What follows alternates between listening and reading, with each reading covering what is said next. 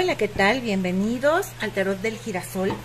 Pues a partir de este lunes voy a tratar de que cada lunes junto con la lectura semanal de exparejas que ya se está haciendo en un solo video en el que dividimos por capítulos todos los signos, bueno, pues vamos a hacer una lectura que tiene que ver con un horóscopo semanal en el que vamos a ver amor, vamos a ver dinero, salud emocional, lo que puedes tener a favor, lo que puedes tener en contra y qué es lo que tienes que trabajar en tu propio yo.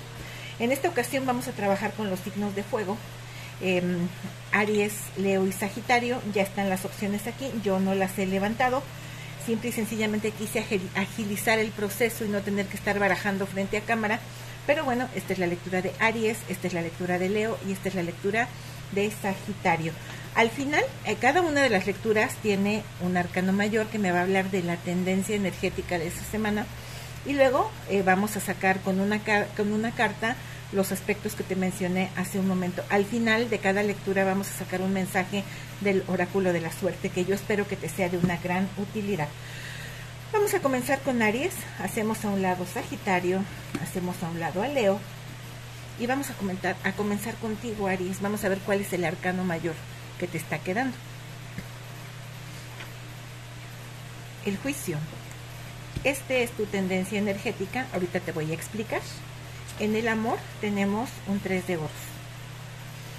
En el dinero tenemos un 5 de copas.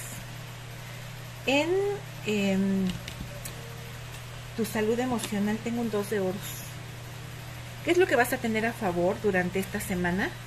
El caballero de espadas. ¿Qué es lo que vas a tener en contra? El 6 de bastos.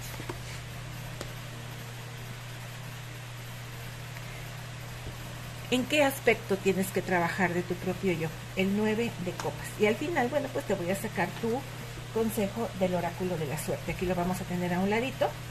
Y bueno, pues vamos a comenzar con la explicación de tu lectura, mi querido Aries. Para empezar, estamos teniendo un arcano mayor que es bien positivo. Te repito, esta lectura es para una semana y abarca muchos aspectos de tu vida en esta semana. La carta del juicio, te repito, es una carta muy buena porque me habla de un Aries resurgiendo, renaciendo de entre sus propias cenizas. Yo creo que pudiste haber tenido un tiempo de estancamiento o una caída emocional muy fuerte y ahorita te estás levantando. La carta del juicio nos habla de proyectos que estaban encajonados, de proyectos que estaban empolvados, que pensabas que ya no se iban a trabajar o que ya no tenían posibilidades y de pronto te surge de nuevo el entusiasmo por esos proyectos o a alguien más le surge el entusiasmo, una solicitud de trabajo que pudiste haber llevado a algún punto y que pensaste que nunca te iban a llamar y de pronto te llaman, porque el juicio tiene que ver con el pasado y algo que resurge y que tú pensabas que ya estaba muerto y enterrado. También representa el regreso de personas de tu pasado. Pero aquí la carta del juicio lo que nos está invitando, mi querido, eh, mi querido Aries, perdón, es hacer una revisión benevolente de tu vida, de lo que has hecho bien, de lo que has hecho mal, en cada uno de los aspectos, en el amor, en el dinero, mi salud emocional, qué es lo que he hecho con lo bueno que me tiene la vida y qué es lo que he hecho con lo malo que me ha dado la vida y qué es lo que he hecho con lo que tengo que trabajar. Entonces es una revisión benevolente en la que tú perdonas al entorno, pero te perdonas a ti mismo, porque es la única manera de resurgir con verdad. Entonces creo que va a ser una semana positiva. Ahora, en el ámbito amoroso tenemos un 3 de oros. Si tenemos un 3 de oros, esta carta tiene que ver con volver a formar un equipo o con formar equipo, pero si tengo el juicio, me parece que en el amor puede haber el retorno de una persona del pasado, pero realmente si queremos rescatar esa situación, pues tenemos que pedir guía o consejo del entorno. Es decir, no basta con la buena voluntad, sino que es necesario acudir con un coach, con un psicólogo, con un consejero, con un sacerdote, con un familiar al que le tengamos confianza y que tenga la experiencia y la buena voluntad para aconsejarnos. Y sobre todo nos dice, no te dejes llevar por personas que no tienen experiencia o que no te quieren bien, pero en el amor yo creo que se puede volver a formar un equipo, pero es necesario que para, ese para que ese equipo se sostenga, me refiero al equipo amoroso, pues tiene que pedir guía o consejo. Fíjate que en el dinero tienes algo muy curioso. Tienes el 5 de copas.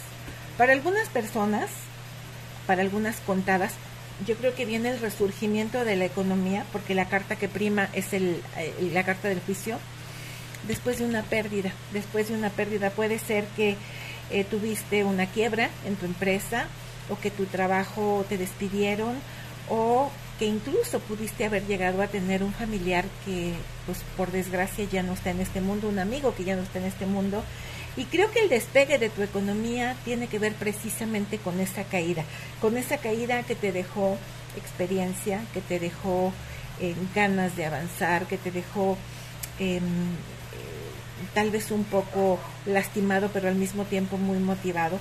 Entonces creo que Curiosamente, tu economía se levanta después de una gran pérdida y en muchos casos yo te diría que la combinación del 5 de copas con el juicio, si estamos hablando de dinero, podría venir por parte de una herencia, tu mejora económica, es decir, algo que te duele mucho finalmente te da una mejora económica.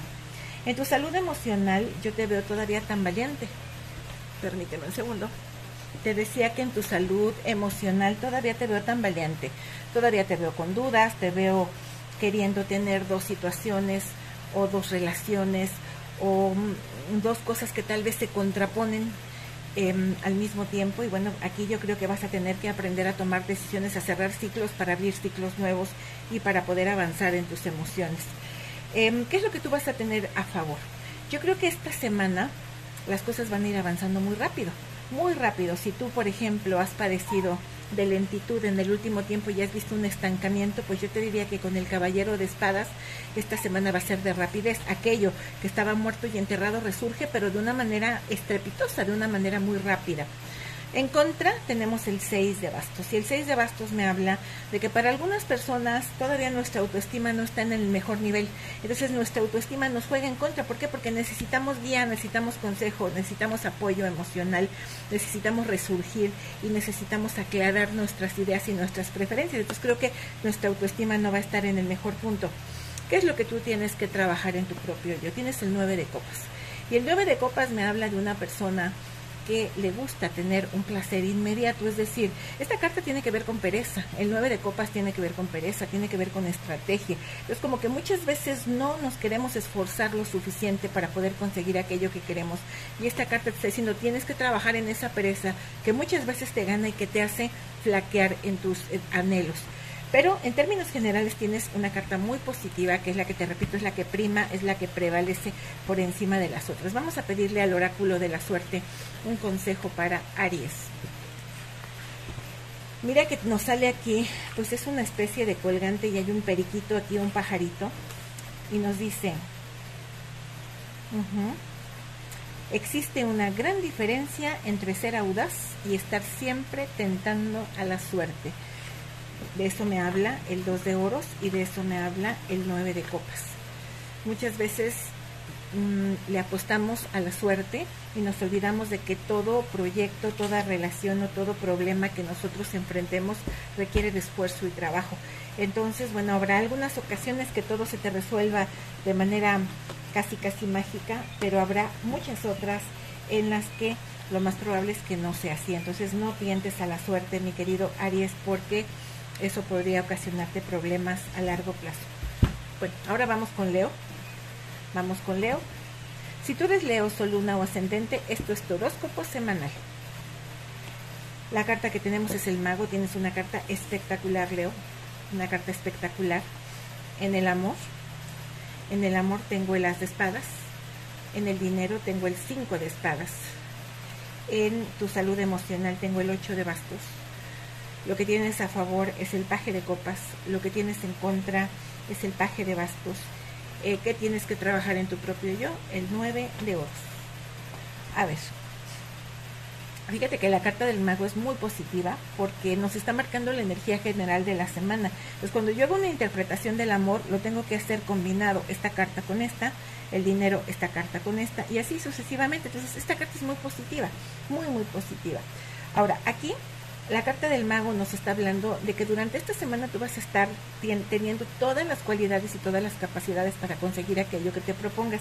Es una semana de inicios, es una semana en la que podría estar llegando alguien nuevo a tu vida, en la que podrías empezar muchos proyectos, pero los proyectos podrían cristalizar de una manera exitosa. ¿Por qué? Porque tienes todo para poder avanzar. En la línea del amor tenemos un as de espadas. El as de espadas me habla de un comienzo con el mago que tiene que ver o que va o que va a darse a través de una conversación. Alguien va a aclarar su mente y va a terminar proponiéndote tener una conversación que puede representar el principio de algo, el principio de algo. Entonces yo creo que aquí viene un inicio con claridad y este inicio con claridad en el amor tiene que ver con comunicación, una conversación sincera que vas a tener con la persona de tu interés emocional. En el dinero, te diré que vas a tener tanto éxito que vas a tener envidia, si va a haber competencia, rivalidad. Trata de no dejarte llevar por los rumores, de no dejarte llevar por los dimes y directos, porque regularmente cuando nos va bien empezamos a tener comentarios negativos, empezamos a tener conflictos con el entorno por la envidia, por la rivalidad y, con la, y por la competencia que se genera. En tu salud emocional tienes el 8 de bastos. El 8 de bastos es una carta positiva, aunque es una carta que nos habla de una emocionalidad que no está del todo estable porque son ciclos en los que estamos bien, ciclos en los que estamos mal. Creo que esta carta me habla de una emocionalidad inestable, pero al mismo tiempo es positiva. ¿Por qué? Porque te centras en soluciones más que en problemas, lo cual es sumamente positivo.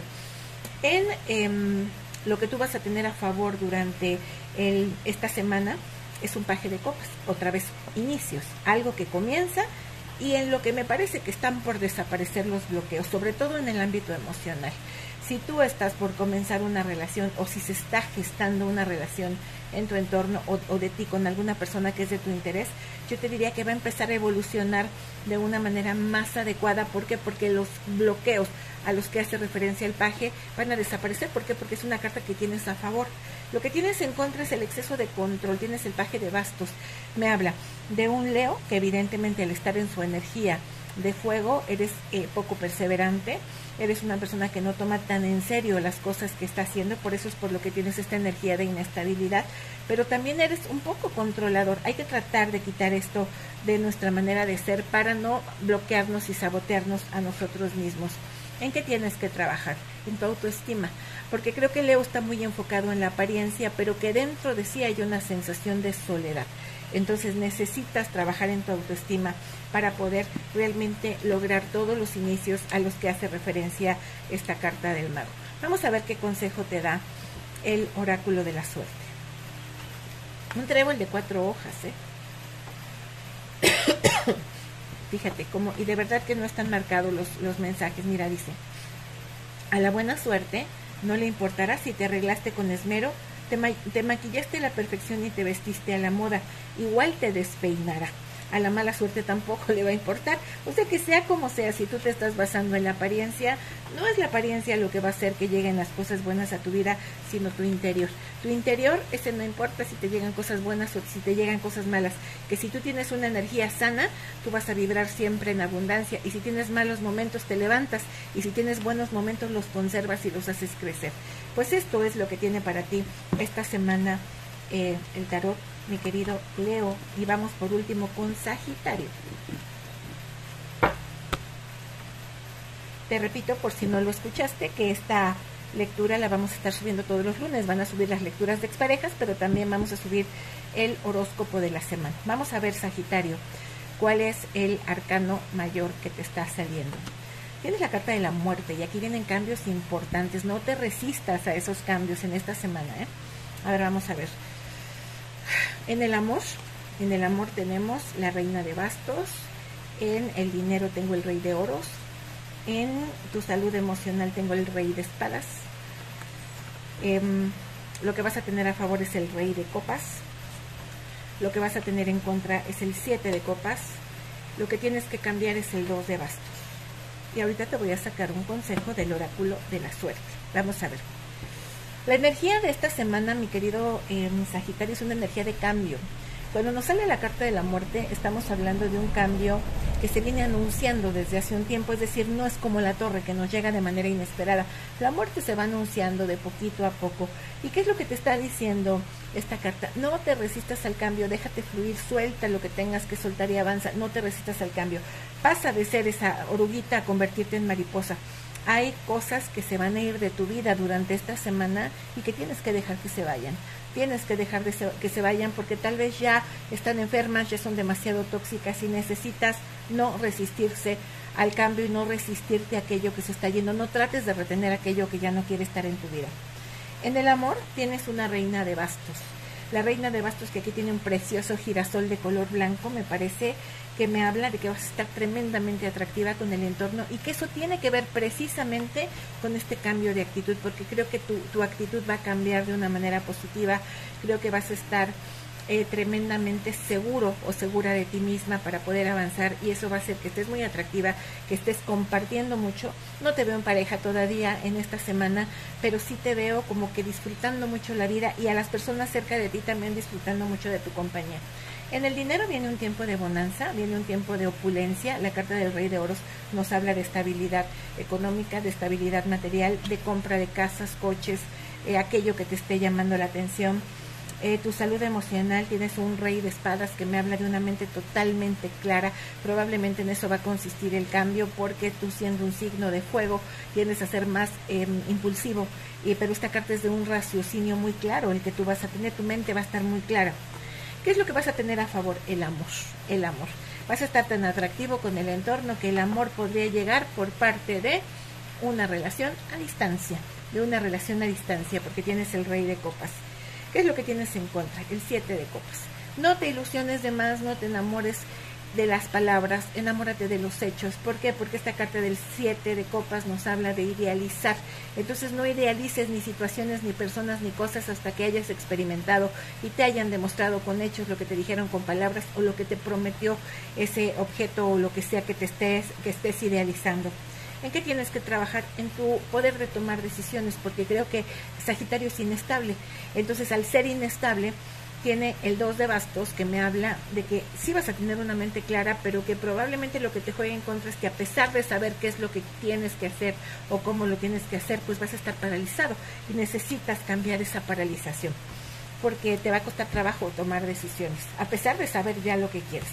A ver, vamos a ver qué te dice el oráculo de la suerte. una media luna, una luna creciente o una luna menguante, no sé. Y me habla de una intuición desarrollada, pero te dice, lo percibes bien. A la mala suerte le gusta dar vueltas en círculo. Encamínala hacia otro lado con gentileza, flores o música, nunca con comida. bueno, pues aquí lo que nos está diciendo es que trates de evitar ciclos repetitivos de conducta. Por eso yo te decía, lo que se tenga que ir de tu vida, que se vaya, no lo retengas. Porque si tú retienes algo que ya se quiere ir, van a estar dando vueltas en círculo. Necesitas dejarte fluir y necesitas dejar que la otra persona fluya. Te agradezco mucho tu compañía, mi querido Leo, mi querido Sagitario, perdón. Muchísimas gracias y te recuerdo que esta lectura de ahora en adelante será semanal. Muchísimas gracias.